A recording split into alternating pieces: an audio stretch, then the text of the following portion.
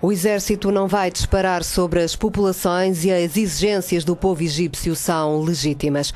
Com estas declarações, os militares egípcios demarcam-se de Mubarak e isolam mais o presidente.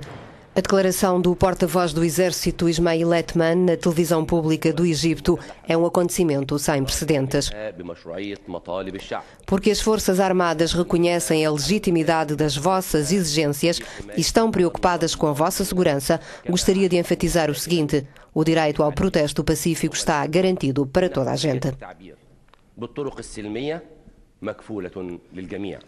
Os militares pedem, no entanto, aos populares que evitem atos de sabotagem ou destruição de propriedade privada ou pública. A atitude das forças da ordem nem sempre foi tão pacífica. Os confrontos das duas últimas semanas provocaram 140 mortos.